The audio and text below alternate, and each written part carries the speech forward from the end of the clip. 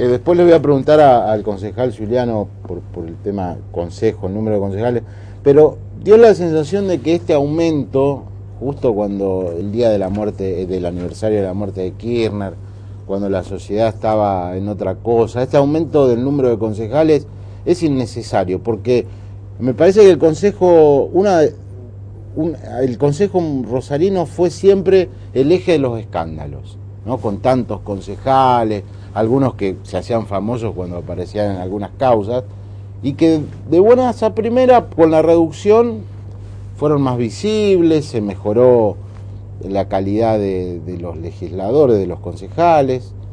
¿Por qué este aumento? Sí, la verdad es que yo no lo comparto, incluso nuestros legisladores lo votaron en contra en la legislatura provincial.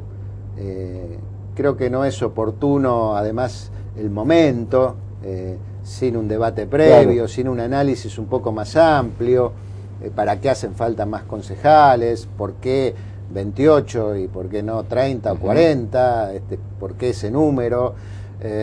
y por otro lado, quizás un debate más profundo sobre el, rol del Consejo Municipal, eh, eh, eh, la posibilidad de elegir concejales por distrito, por ejemplo, de tal manera de que haya una, representación más directa de, cada uno de los distritos. Me parece que hubiera sido mucho más interesante un debate sobre la reforma constitucional, sobre la autonomía de los municipios y en ese marco por allí este, analizar el tema de los concejales. Esto ha tenido más que ver con un interés político, obviamente, este, de lograr mayores espacios para las próximas elecciones, pero creo que no hay una demanda de la sociedad en ese sentido y creo que los políticos tenemos que ser muy, muy prudentes en estas cosas y, y tener en cuenta que las estructuras políticas, las instituciones políticas, este, tienen que estar en sintonía con las demandas también de la sociedad y con las expectativas de los ciudadanos.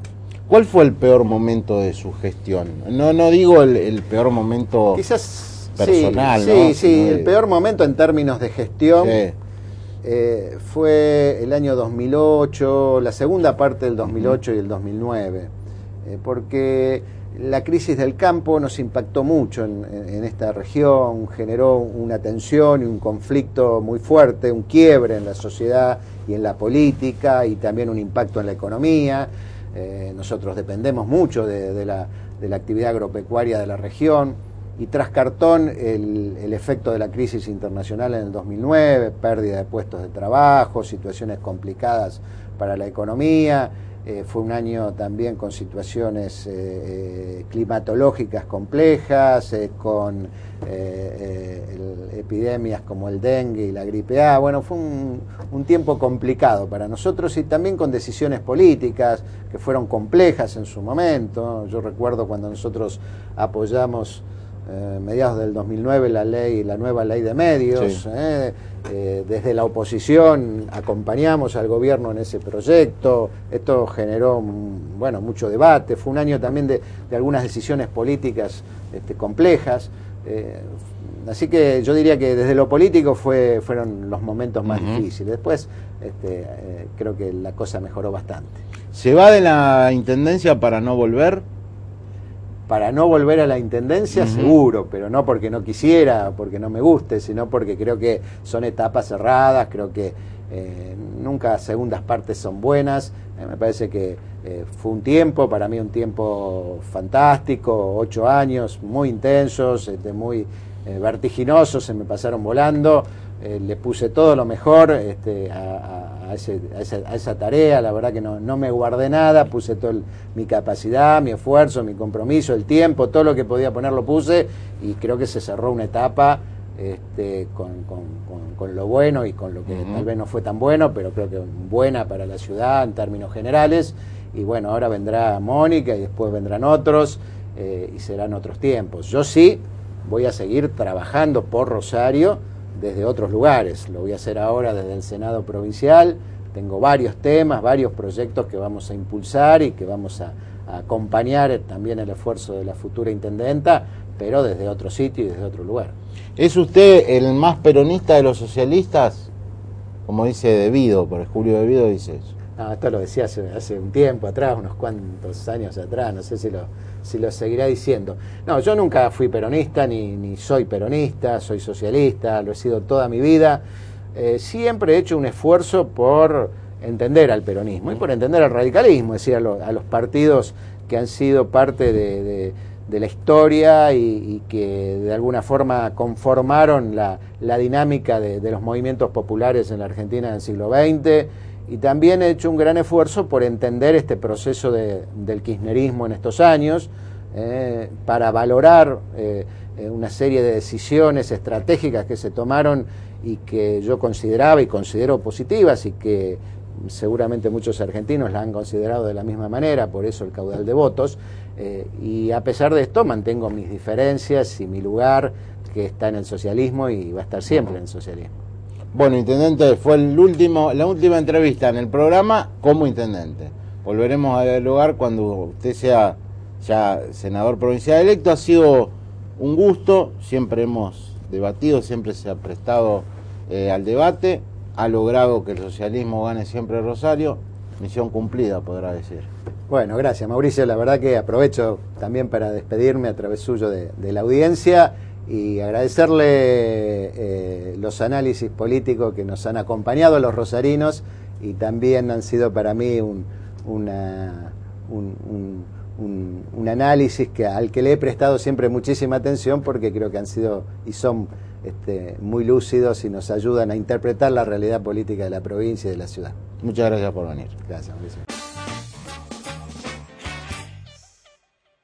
Eh, yo insisto en esto, a mí me parece que eh, este consejo le dio más visibilidad a los propios concejales, hizo que mejorara la mirada de los rosarinos sobre la institución, sobre, sobre el cuerpo, y que esta medida, incluso alguno me lo ha dicho, es para contener, esa palabra contener, eh, a los correligionarios, a los compañeros que de otra manera con boleta única, por así preferirían ponerse como, como candidatos en primer, segundo lugar, antes que aparecer en otro lugar de esa boleta única por los partidos.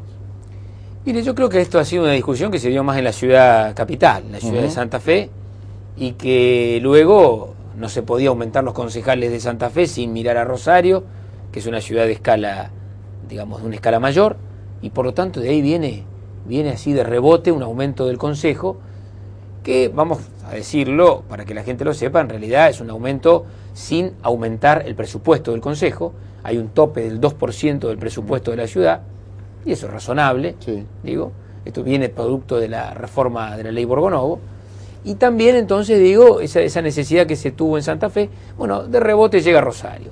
Rosario lo que debe hacer, y yo se lo planteaba, y le pedimos a los legisladores rosarinos, que salgamos de esta lógica, yo diría del cuento de la buena pipa, en donde todos queremos la autonomía, pero nadie, nadie la da.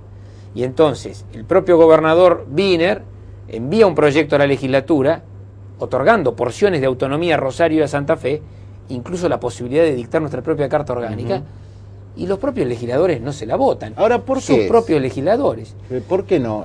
Que hay una razón financiera, lo que aporta Rosario que dejaría de aportar a la provincia. ¿Por qué? Algo que es, o sea, nadie puede oponerse a la autonomía. ¿no? Esas palabras lindas, además. ¿no? Autonomía. Ahora, ¿por qué no, no se da? Y hay una cuestión de intereses eh, duros y puros. digamos, es una cuestión de intereses, vamos a ser muy claros con la gente. Yo siempre planteo que quizá uno de los pocos acuerdos políticos multipartidarios ha sido no darle autonomía a Rosario. Y esto se, se, ha observado. Se ha observado en la práctica. Fíjense ahora, la legislatura avanza en aumentar el número de concejales pero no en darle la autonomía, la posibilidad de que Rosario decida cuántos concejales va a tener y cómo los va a elegir sobre todo, que es lo más importante, le diría yo. Más que cuántos somos, cómo los elegimos. Y, creo que, mire, hay cuestiones muy claras. Eh, la autonomía no se le otorga a Rosario porque hay un miedo a la proyección o al impacto que significaría una ciudad autónoma de esta escala en nuestra provincia. Y es un grave error político. Y es un miedo que sea cual fuera el partido que lo detente, incluso el mío, si hay alguno que lo tiene, ese miedo, eh, es un grave error. Porque Rosario es la locomotora de toda una región. Y porque eso le va a servir a Santa Fe.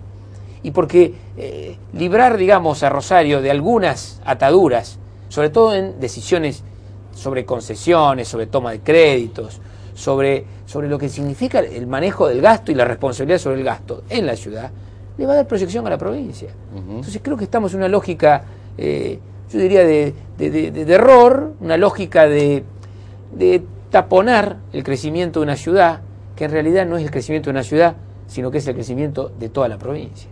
El peronismo santafesino está con una conducción, caso de Ricardo Espinosi, que eh, perdió la posibilidad de, ser senador en su departamento y, digamos, es el presidente que quedó de una realidad política interna diferente a la de hoy. En Rosario no se sabe qué pasa en el peronismo rosarino. Y esa es la pregunta. ¿Qué va a pasar con el PJ rosarino? Hay elecciones en marzo, va a haber elecciones. Bueno, ahí no hay, no hay información precisa sobre lo que va a pasar. Lo que sí es cierto es que las autoridades que tiene el Partido Justicialista pertenecen a una fotografía de otro momento, de otro tiempo. Por lo tanto, es bueno que esto se renueve y que realmente haya posibilidad de que también el partido tenga esta renovación.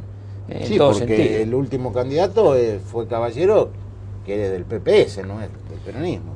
El justicialismo deberá plantearse de aquí al futuro eh, algo que es muy importante. Nosotros tenemos que recuperar nuestro espíritu de renovación.